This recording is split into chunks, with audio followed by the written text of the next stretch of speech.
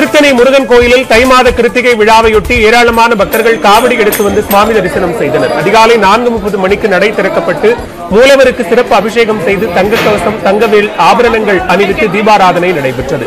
தொடர்ந்து காவடி மண்டபத்தில் வள்ளி தெய்வானை சமேதராக எழுந்தருளிய முருகனை பக்தர்கள் தரிசனம் செய்தனர்.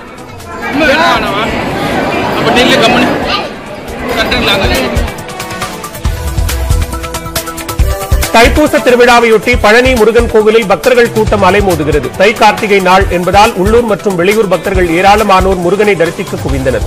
காவடி எடுத்துக்கொண்டு பாத யாத்திரையாக சென்ற பக்தர்கள் ஆட்டம் பாட்டத்துடன் மலையேறி வழிபாடு நடத்தினர்.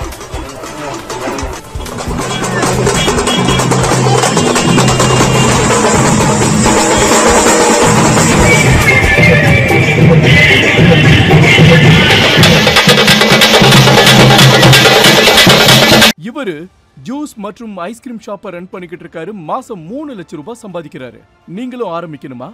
இவர்கிட்ட இருந்து கத்துக்கணுமா? ஃப்ரீடம் ஆப்பை உடனே டவுன்லோட் பண்ணு. நீலகிரி மாவட்டம் குன்னூர் உழவர் சந்தை பகுதியில் உள்ள குடிநீர் கிணற்றில் தவறி விழுந்த காட்டெருமை உயிரிழந்தது. குடிநீர் கிணற்றுக்குள் காட்டெருமை இறந்து கிடப்பதால் துர்நாற்றம் வீசுவதாக பகுதி மக்கள் நகராட்சிக்கு தகவல் தெரிவித்தனர். இதனையடுத்து அங்கு வந்த வனத்துறை மற்றும் தீயணைப்புத் துறையினர் காட்டெருமையின் உடலை ஜேசிபி இயந்திரம் மூலம் மீட்டு பிரேத பரிசோதனைக்கு பின்னர் புதைத்தனர்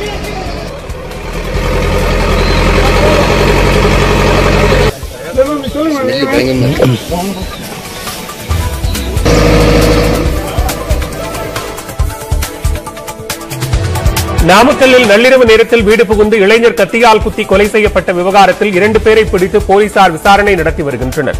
பெரியப்பட்டி சாவடி தெருவைச் சேர்ந்த ஆறுமுகம் தனது வீட்டில் தூங்கிக் கொண்டிருந்த போது சுவர் ஏறி குதித்து உள்ளே புகுந்தவர் கத்தியால் குத்தி கொலை செய்துள்ளார். தகவலறிந்து வந்த போலீசார் கொலை நடந்ததற்கான காரணம் குறித்து விசாரணை நடத்தி வருகின்றனர்.